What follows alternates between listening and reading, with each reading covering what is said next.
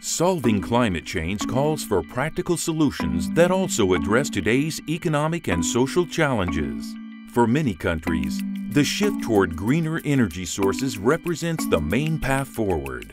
In Europe, offshore wind continues to gain momentum as costs fall.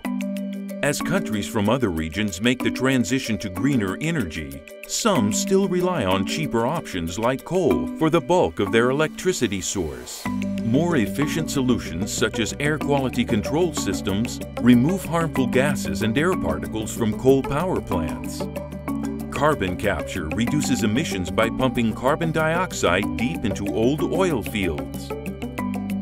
Alternatively, robust checks are in place to improve the efficiency of existing plants, providing cost-effective means to lower carbon emissions.